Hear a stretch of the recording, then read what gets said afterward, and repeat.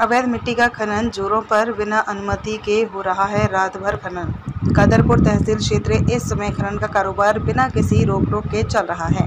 रात होते ही ग्रामीण क्षेत्रों में कृषि भूमि में जेसीबी से लगाकर मिट्टी खनन शुरू हो जाता है। इतना ही नहीं, मिट्टी ढोने के लिए, सर्वाधिक कृषि कार्य के लिए पंजीकृत ट्रैक्टर ट्रॉलियों का प्रयोग निगम विरुद्ध किया जा रहा है।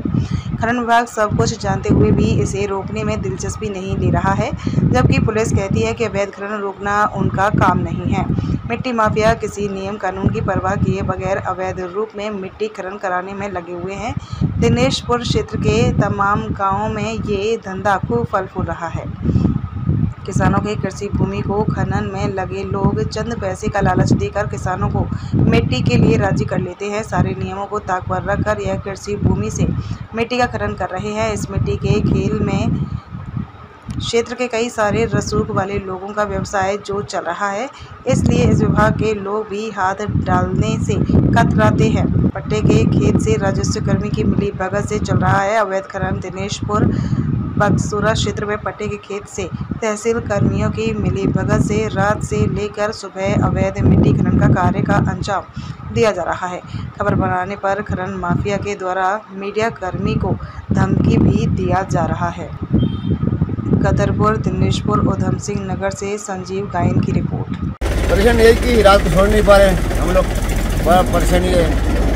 लेके घूम रहा हूँ। इतना टाले चल रहा है। कोई उसे गवाह कुछ नहीं कर रहे हो आप लोग। इसके लिए कुछ भेजो।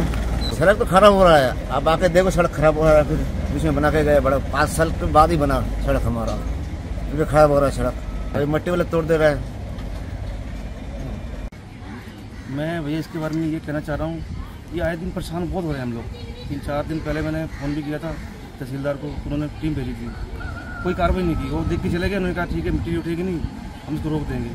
हम लोग बहुत परेशान है। ये पूरी रोड टूटी पड़ी इधर से। है आना जाना सबका बेकार हुआ पड़ा है। उधर भी नई रोड बनी है, वो भी कुछ दिन की है। वो भी फिर ऐसी हो जाएगी। सर कोई उसको मामला संज्ञान में कोई ले नहीं रहा है, ना पुलिस वाले आते हैं, ना तहसीलदार से, ना कोई भी नहीं रहा। पटवारी लोग आए थे, यहाँ पे चले गए। उन्होंने कुछ किया नहीं, पता नहीं। मिट्टी उठ रही है और अवैध मिट्टी उठ रही है। पट्टे वाली ज़मीन पर मिट्टी उठ रही है। सर, ऐसा बात है कि ये जो रोड बना है हाल ही में, ये रोड को तोड़ रहा है और ये जो अवैध मिट्टी निकाल रहा है यहाँ से घर के सामने रात भर ट्राली चलन, इंसान सो नहीं पा रहा है। दिन भर थकान करके काम करके आ रहा है, सो नहीं पा रहा है। और बच्चे बच्चे, सारे बच्चे रोड में घूम रहे, पता नहीं किस टाइम क्या हो जाए। इसलिए आप कुछ कीजिए इनके, इन लोगों के लिए। किसी के लिए ना करें, कम से गरीब इंसान के लिए तो कुछ कीजिए।